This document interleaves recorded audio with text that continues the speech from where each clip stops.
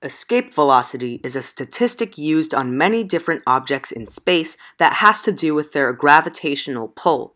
Escape velocity is the upward velocity starting on the ground that you would need to escape the gravitational pull of a massive object. Interestingly, escape velocity is equal to root 2 times orbital velocity.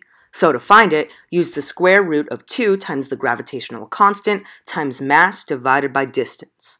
Escape velocity is the speed that if you were moving directly away from an object, you would barely escape its gravity. Over an infinite amount of time, your speed would reach zero because gravity is slowly pulling you back. So escape velocity is really the lower limit of the speed you would need to escape the gravitational pull of an object.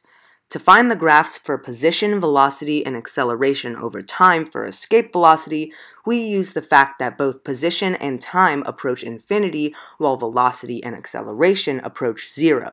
A set of graphs with these properties are the square root of x for position, 1 divided by the square root of x for velocity, and 1 divided by the square root of x cubed for acceleration.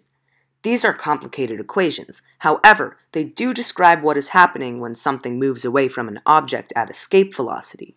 For exact graphs, you must find what the initial time is. To do this, use the graph x squared divided by 2 times the escape velocity times initial position.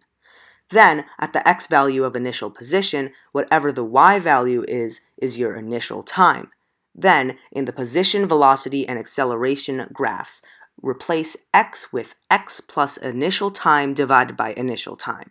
Once you have done this, multiply each graph by their initial values, which are initial position, the radius of the object, initial velocity, escape velocity, and initial acceleration, surface gravity.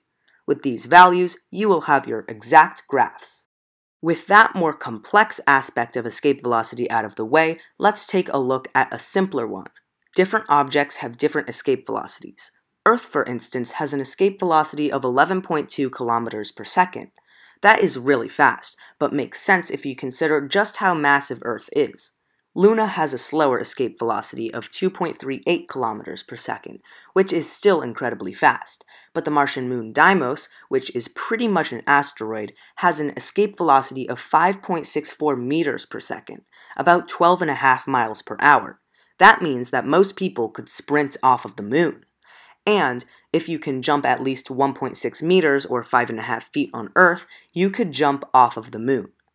Overall, escape velocity is a measure of gravity, and it is useful for space travel because it is the lower limit for leaving an object.